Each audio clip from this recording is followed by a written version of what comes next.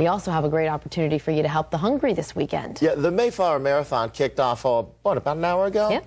And a bunch of great volunteers are out there right now. Talk about the spirit of the holidays. 13 News Chaser Jason Walsh is live outside Pembroke Mall in the beach. Hey, everybody.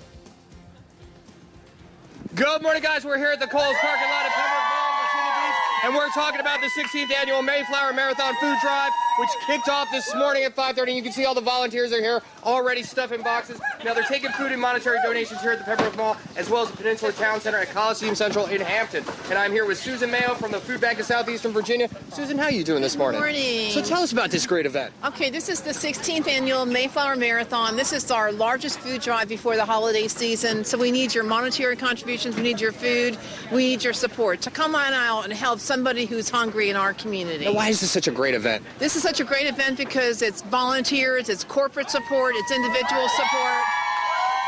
And we've got a donation right here. We got a donation coming in right now. Hey, Rod Fiswell from FM 99 here. Come on, Rod. Let's go over here to see this. So tell us, you guys are involved with this. Come on over here. We've been doing it for 16 years, uh, FM 99 WNOR and the Fox 106.9, our sister station. Let's open the back of this truck. Let's see what we got here. Come on, open this up. We're trying to get the truck open right now. Oh, it's locked. Oh, It's locked. locked. Okay, we're gonna go back on over here. But uh, you know, come on over here, Rod. This is a great, great event, and you guys have been doing this for a while. Yes.